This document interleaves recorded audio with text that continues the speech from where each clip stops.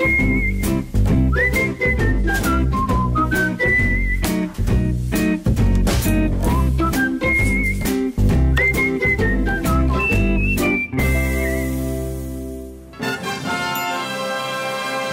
есть мы еще будем где-то еще? А как это будет? Как это? Интернет нам в помощь. Привет! Алуся, привет! Алусик, привет, Алочка! Сегодня я поделюсь своим фирменным блюдом из молока.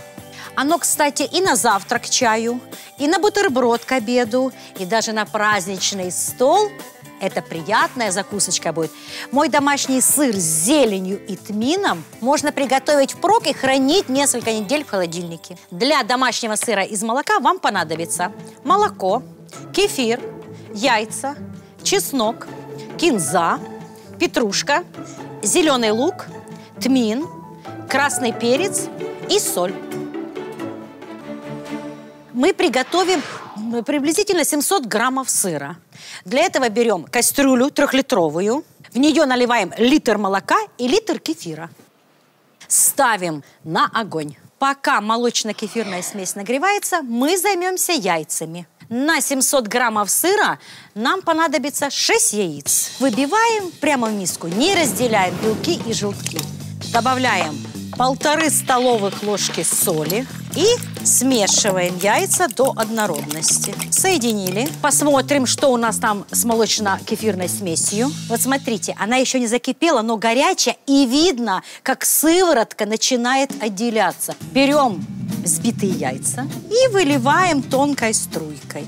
Помешиваем все время и ждем, пока у нас полностью не отделится сыворотка. У нас нету кипения бурного, запомните, просто томится эта масса. Вот сыворотка отделилась, я выключаю, а мы продолжаем дальше работу. На 500-700 граммов сыра нужно мелко нарезать три веточки кинзы, три стебля зеленого лука и три веточки петрушки. Зелень я измельчила. Высыпаем в кастрюлю с молочной смесью и перемешиваем. Сейчас мы добавляем сюда специю, одну треть чайной ложки тмина и для пикантности одну третью чайной ложки красного молотого перца.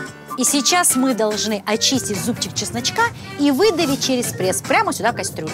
Перемешиваем и переношу это все на дощечку. Теперь осталось дело за малым. Мы берем большую миску и дуршлаг. Кстати, дуршлаг на кухне – незаменимая вещь. Мы привыкли, что дуршлаг – это дырявый ковшик на ручке. Они могут быть очень интересными. Например, бывают складные дуршлаки. Одно движение, и он становится плоским. Ручка снимается, и все компактно укладывается в ящики стола. Или же есть съемные дуршлаки. Надевается на кастрюлю или на сковороду, как крышка. Очень удобно сливать жидкость. В общем, вариантов очень много. Если заказывать в интернет-магазине, можно детально разобраться, почитать отзывы, характеристики и даже посмотреть видео использования этих дуршлаков.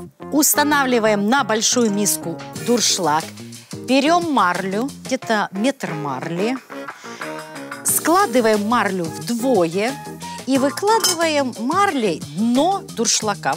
Важно, чтобы края и углы марли свисали за бортики нашей миски. Теперь берем прихватку и выливаем. Марлечкой выкладываем поверхность, поднимаем. Смотрите, сколько у нас сыворотки. Теперь я беру вот такую вот миску и ставлю сюда. Берем тарелку меньше диаметра нашего дуршлака и выкладываем на поверхность сыра. Поверхность тарелки должна полностью прижимать поверхность нашего сыра. Я подготовила литровую банку, налила сюда воды. Это у нас груз. Ставим сверху. Чуть-чуть вот так вот прижали и все. От давления вот этого груза из сыра выйдут все остатки сыворотки. И самое главное, сырная масса у нас склеится и образуется вот такой вот настоящий комочек сыра.